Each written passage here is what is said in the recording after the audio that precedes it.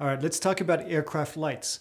And this is a little bit confusing because there's four different types of lights that you can find on the aircraft. The first one is called a landing light. That one is pretty simple. We'll talk about the beacon light, we'll talk about the strobe light, and then lastly, we'll talk about the position or navigation light. Same, uh, same thing, different name, okay? The reason why we talk about this is while one, you need to know the colors that you're going to see out there, and then two, there's actually a lot of questions by the FAA in the database about aircraft lights. So you need to understand kind of how it works, and I'm going to show you some examples in a second.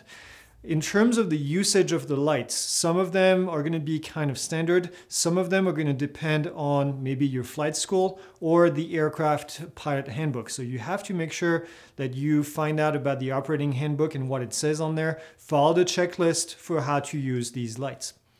The first light that I want to talk about is called a landing light and you're going to see it right here and it's going to be a steady light, okay? That's going to help you when you land the aircraft. It's basically going to light up the way in front of you. This next one is called a beacon light, and the beacon is going to be a flashing red light on the very top of the tail of the aircraft. And this one is kind of like, it's a beacon. It goes on and off, on and off. And this one, we're going to turn it on before we start the engine or right, right when we're ready to start the engine. And we're going to turn it off when the engine has stopped. This is telling people, hey, this aircraft is hot. It's about to, uh, the propeller is about to start, stay away from it. The next one is going to be our strobe light. And the strobe light is going to be kind of a blinking light. It's going to, it's going to be like this, like this. It's going to kind of go on and off, on and off.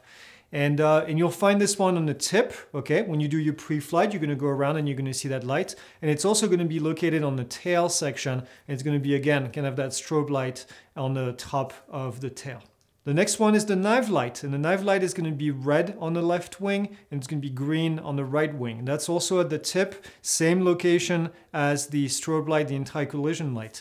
And then on the tail in itself, in the back of the aircraft, pointing towards the back of the aircraft, we're going to have also a nav light. Now these lights are steady light. They're not blinking, they're steady lights in this case.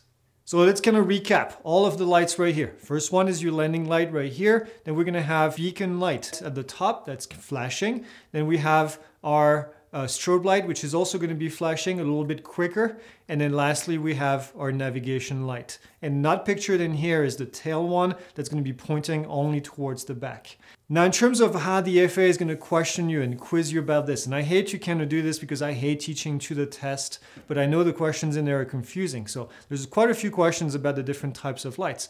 And what they're going to say is they're going to ask you different scenarios and they're not going to tell you about all the lights. They're only going to tell you about some of them because some of these lights don't have to be on all the time. So you have to kind of understand which ones are blinking, which ones are not blinking, and which one are what color, because it's going to be based on color. So if, here's an example. During a night flight, you observe a steady red light and a flashing red light ahead at the same altitude. What is the general direction or movement of the other aircraft? In this case, the question mentions the red beacon light, which is our flashing light, and the red navigation light, which is the steady light. So in this case, you have to be careful because they actually don't talk about the strobe light, which quite frankly should be turned on as well. So if we look at it, this is what it's going to look like. We're going to have our steady light at the tip of the wing, and we're going to have a beacon flashing red light on the top. This means that the aircraft is actually moving to the left. Another example could be this. We have a steady green light and a flashing red light. This means that the aircraft is moving to the right. Another example here, we can have a steady white light, which can only be the, uh, the navigation light that is seen from the back only. And then also the beacon light, which is going to be our flashing red light. Now in this case, they don't talk about the nav lights that are going to be at each end. Navigation light on the left, you would see a red light, and on the right, you would see a green light. Both of them would be steady, but that is not mentioned in the question.